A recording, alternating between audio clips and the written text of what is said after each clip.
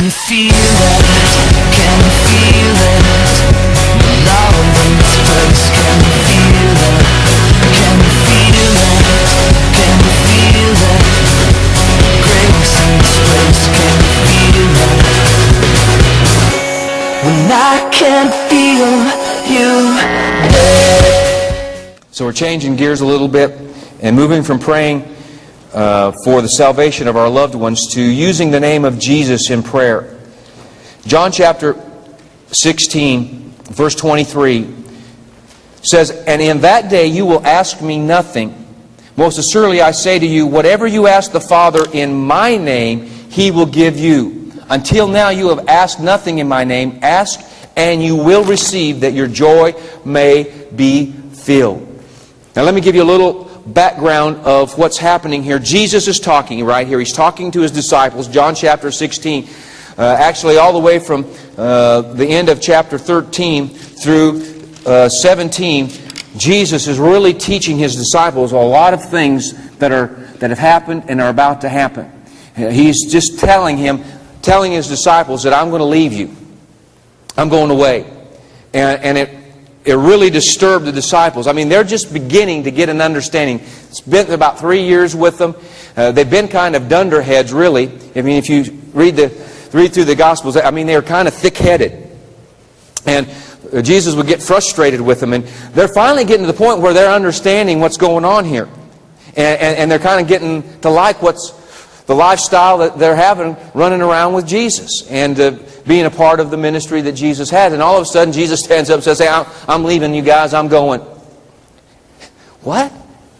And so he begins to tell them it's, it's expedient. It's absolutely necessary I go away because until I go away, the Comforter will not come. Another Comforter is going to come. He starts talking about the Holy Spirit. He said, The works that, that I do, you shall do, and even greater works than these you will do. So he's teaching all these things. And, and then right in the middle of all this, he, he interjects this this thought, verse 23 and 24, he says, And in that day, and the day that he's talking about is the day that he actually goes to be with the Father, resurrection, ascension in, into the heavenly places. He says, In that day you will ask me nothing. Go back to chapter 14 for a second because we'll bring some clarification here of proper protocol and process for prayer here. Chapter 14, verse 12 says, Most assuredly I say to you, he who believes in me, the works that I do, he will also do, and greater works than these he will do, because I go to my Father. And whatever you ask in my name, that I will do, that the Father may be glorified in the Son. If you ask anything in me, I will do it. Now, right here, Jesus is talking about what's been happening up to this time. He says, up to this time, he says, you've been asking me, and I do it for you. He says, I'm the one that's been, been doing these things for you. He said, but I'm going to go to my Father. Things are going to change. I'm not going to be around anymore for you to ask me to do anything. I'm not going to be here to do anything for you. So here in chapter 16, he says, now in that day when I'm gone, here's, what, here's the way it's going to work. He says, you're going to have to ask the Father. You're not going to ask me anymore. You're going to have to ask the Father. But you ask the Father in my name, and He, the Father, will do it for you. See, I've been doing it for you. I've been here, I've been doing it for but I'm not going to be here anymore. I can't do it for you anymore. But don't, don't worry about it. The Holy Spirit's going to come. He's going to be here to help you. He's going to comfort you. He's going to teach you. He's going to lead you into all things. And he says also, when you pray, you can pray straight to the Father in my name, and He will do what you ask. Now this is revelation. Because you see, up to this time, nobody had access to the Father. Understand, the, the, the teaching of the Jewish people at the time, they had to go to the priest.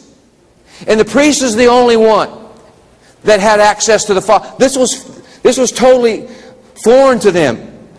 But now they understood that Jesus was the Son of God, that He was God, and so they've been, I mean, they were face to face with Jesus and asking the things that, that they needed, and Jesus was doing things. He was turning water into wine. He was healing the sick people. He was turning a couple of fish and a few loaves of bread into all the food that they needed. He said, go down to the fishing hole and pull out the fish and you'll get a gold coin in it. I mean, it's great. Man, everything they need. Jesus is taking care. Jesus, we, we, we need a place to stay. Well, just go down there and, and they'll have a place. Uh, go down there and get the colt and bring it down. I mean, everything, they're just that, and Jesus is there. Now, I'm going to be gone. So for us to understand the setting of this, it's important because, I mean, it's, it's like, whew, what is going on? I'm not going to be here. I'm going. He said, but I've got good news. It's going to be much better. There's going to be a comforter that comes, the Holy Spirit that comes. And now, when you pray, pray to the Father in my name. So when we pray, it's important to understand now we are asking the Father.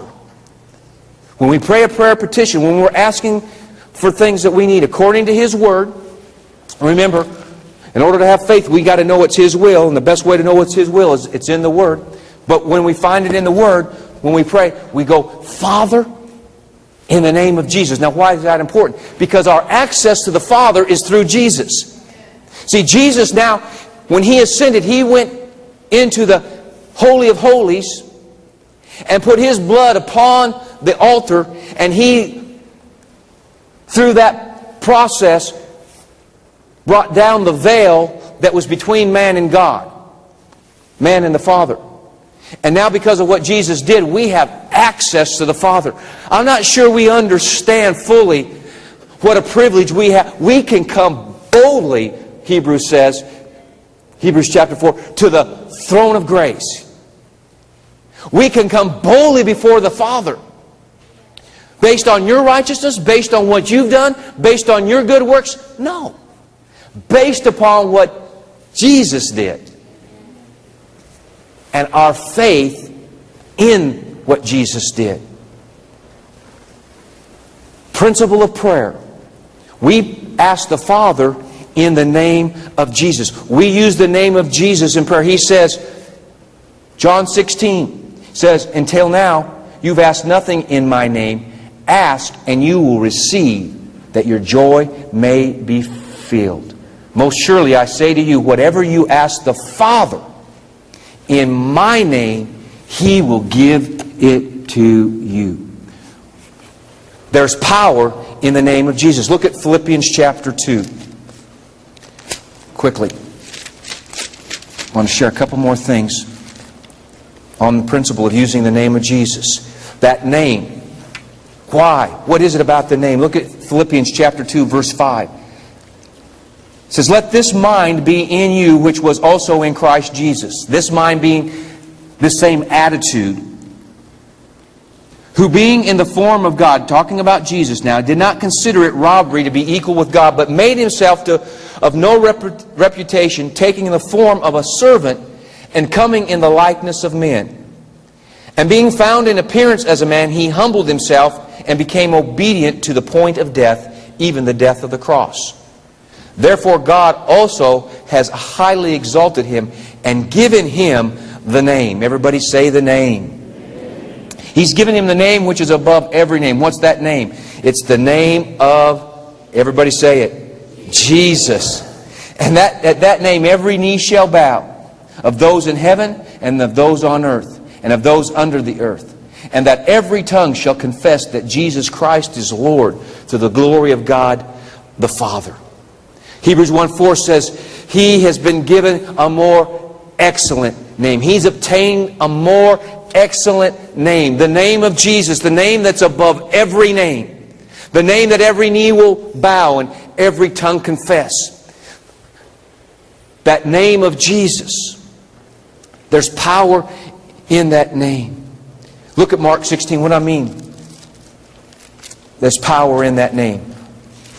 Look at Mark 16 verses we're very familiar with, but let's look at it in the context of what we're sharing here about the name of Jesus.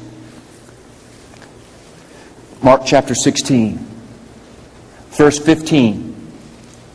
And Jesus said to them, Go into all the world and preach the gospel to every creature. He who believes and is baptized will be saved, but he who does not believe will be condemned. And these signs will follow those who believe. And in my name, what name? Jesus. And in my name, they will cast out demons. They will speak with new tongues. They will take up serpents. And if they drink any deadly thing, it will not harm them. They will lay hands upon the sick and they shall recover. It's in the name of Jesus that the power and the anointing of God is released to minister salvation, to minister healing, to minister deliverance. It's in the name of Jesus. There's power in that name, the name above every name. Now, for us to be able to use that name and release the power of that name, it only flows out of relationship with Jesus. And you've got to understand, you've got to catch this. Most people see the revelation of the name of Jesus and, and the power in that name, those within the Christian walk. But they don't understand that it's only out of relationship that we can actually release the power of that revelation. I don't have time to turn there. You can look there now. But in Acts chapter 19, there's a, a story about the sons of Sceva who got this revelation about the name of Jesus. And so they're going to just cast out some demons. And so they walk up to this, this situation and they begin to speak to these demons. And the demons look at him and say, Jesus we know, Paul we know, but who are you? They didn't have the revelation of the relationship. They didn't have that relationship where the power is. They could speak the name of Jesus all day and nothing happens. It's only out of that relationship that gives you that ability and for God to release the power and the anointing in that name. Who are you? And so you, you may have been standing out here trying to cast demons out or do something in the name of Jesus and nothing happening. My question to you is, what's the relationship you have with Jesus? Because it's out of that relationship that will flow. See, the centurion understood that. He was in submission to authority. He said, only speak the word and my servant would be healed.